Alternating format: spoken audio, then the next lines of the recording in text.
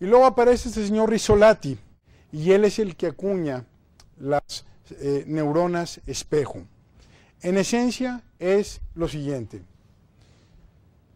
Yo estoy aquí sentadito, eh, lo hizo con changos, o sea, con nuestros brothers. Está así sentadito eh, el changuito, obviamente con las lecturas, con las tomografías conectadas, y viene otro changuito y agarra un plátano y lo pela.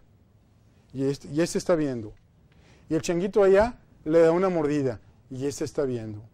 La parte que se le prende en el cerebro al que se está comiendo la banana es exactamente igual a la que se le prende al que está observando. Por eso se llama neuronas espejo.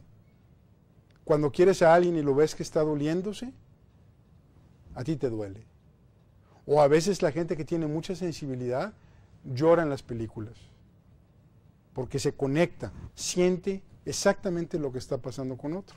Entonces, eso va al tema del hábito y cómo nosotros nos influimos unos a otros.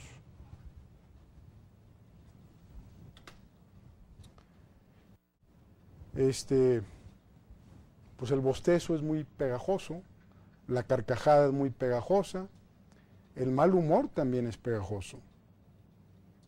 Sobre todo, este, si es una persona de influencia, eh, permea a una cultura. Por eso la neurosis del jefe eh, hay que cuidarla, hay que administrar.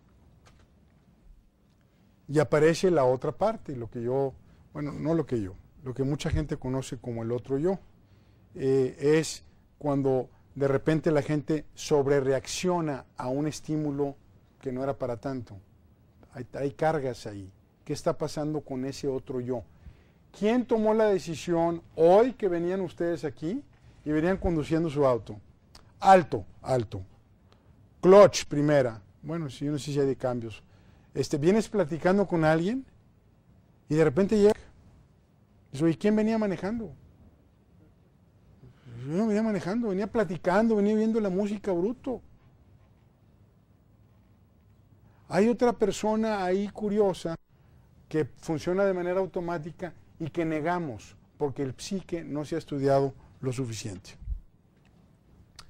La prueba es que en la vida habíamos tenido tanta información de los daños que hacen los alimentos, o ciertos, o las drogas y el alcohol, y en la vida había habido tanto diabetes y obesidad en el mundo. O sea, es una, es una parajoda. ¿Cómo es que, eh, a pesar de que estás más informado que nunca, hay más obesidad y diabetes que nunca. ¿Alguien me lo puede explicar? ¿Hay alguien aquí que no sepa cómo bajar 3, 4 kilos más? Ahorita están muy jóvenes, no traen esos, esos temas. Los del cigarro probablemente. O los de el fin de semana, la, la borrachera. Que no sepa qué le hace bien y qué le hace mal. ¿Y entonces? ¿Quién maneja nuestra vida? ¿Por qué hay tanto negocio para limpiar de adicciones a las gentes? ¿Quién maneja nuestra vida? Pero es la parte de la arrogancia decir, yo controlo todo. Y yo aquí lo pongo sobre la mesa y digo, mm, ¿seguro? Todo el mundo sabemos cómo sacar 10. ¿Por qué no sacan 10? No, porque no quiero. Ah, ok, está bien. Bien porque me vale, ok, porque me vale estar gorda, oh, bien.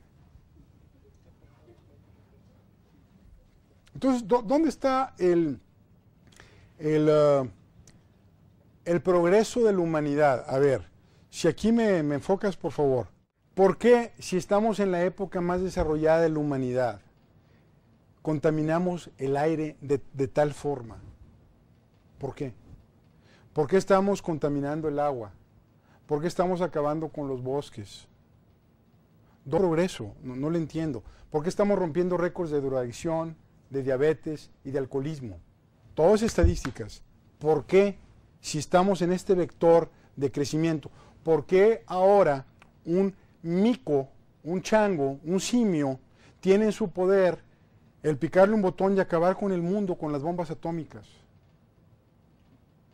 Y cada, y cada cuatro años es uno nuevo.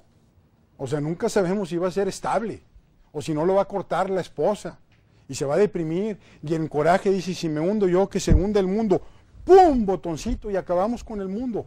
¿Por qué? ¿Dónde está el vector de progreso? ¿Por qué lo estoy resaltando? Porque creo yo que eh, sobreestimamos nuestro control y somos ignorantes de cómo damos.